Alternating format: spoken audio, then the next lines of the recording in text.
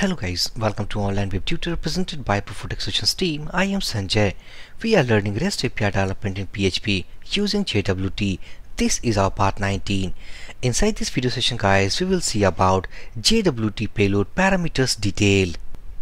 In the last video, successfully we had generated about JWT token. So if I back to Postman, now this is our login API URL and inside this URL we have passed our parameters right here like email and the password inside body and successfully we had generated about our JWT token as we can see here. So if we copy this JWT back to Chrome inside this jwt.io and inside debugger if I scroll down and if we paste our JWT inside this area now as we can see that this JWT contains about the header something called type equal to JWT and algorithm equal to HS256 so what basically it is? How can we know that where it is this algorithm will be used? Or where JWT token has picked this algorithm type? So to understand that if we back to code editor go to vendor open a Firebase, php-jwt, src and jwt.php. Why we have opened this file? Because in the last video we have included this autoload.php to use this class. By using this class, we have accessed about JWT and the encode function as we can see here. So go inside jwt.php and inside this file if we search about the static method called encode so control F and let's type encode. And as we can see that this is our static method encode. So that's why we have used scope resolution operator. So back to class. Now inside this encode we have a third parameter.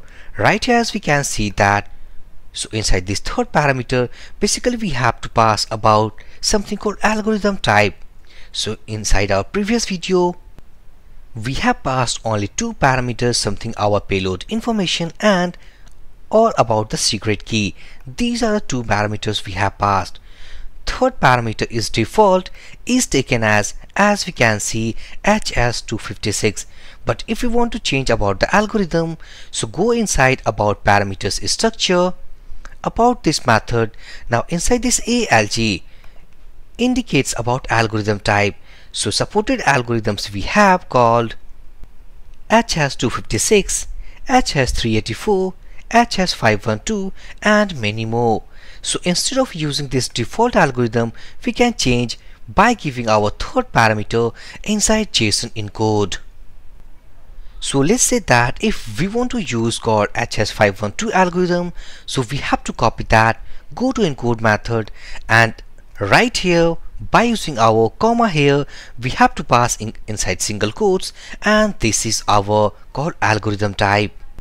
So if we save all these changes for this login API back to postman again hit send button and if we copy about this JWT go inside JWT.io and if I put about the algorithm or JWT inside this box now as we can see that algorithm type is successfully changed so this is how we can change about the algorithm type inside header of JWT and the type should be JWT is always it's a default value.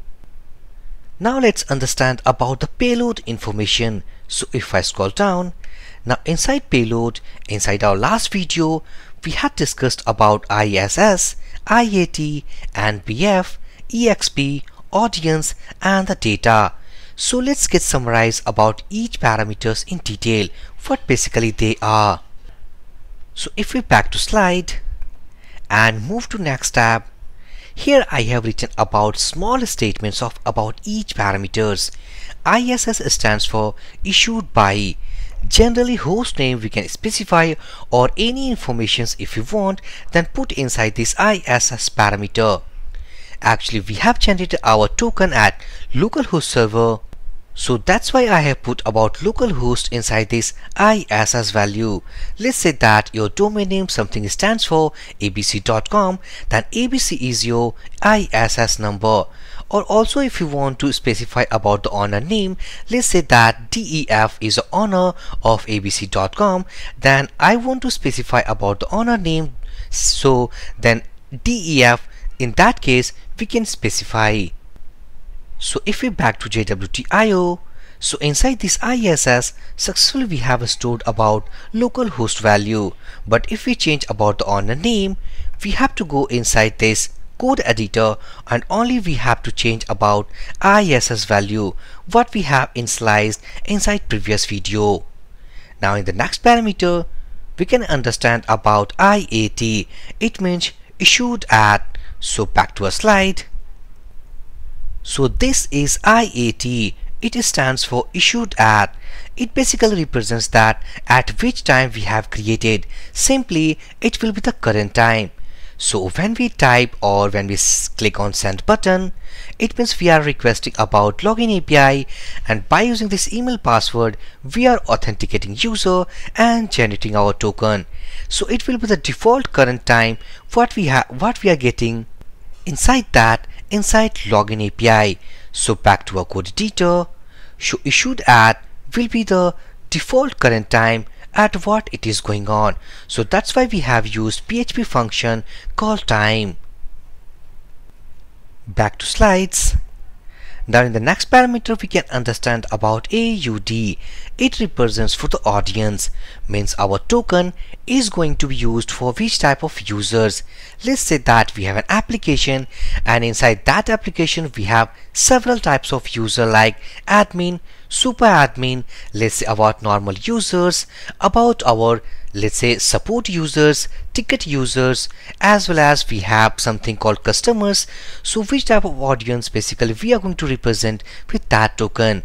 So we need to specify inside here inside this key.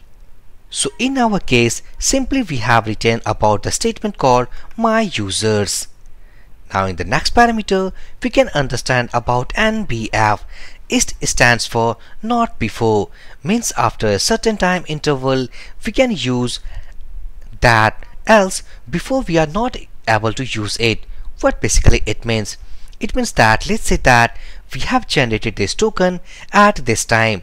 But when we are going to use this token inside another APIs then we can set that this API valid after 10 second or 20 second. So it means that the next API will have to wait up to 20 seconds before using it. So we need to set about the time intervals. So if we back to code editor, now this is the current time at which we have generated our token.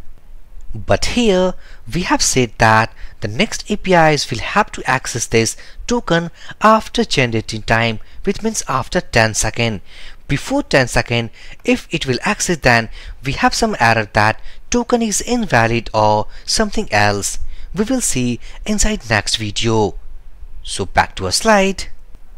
Now next we have called EXP something expiration time.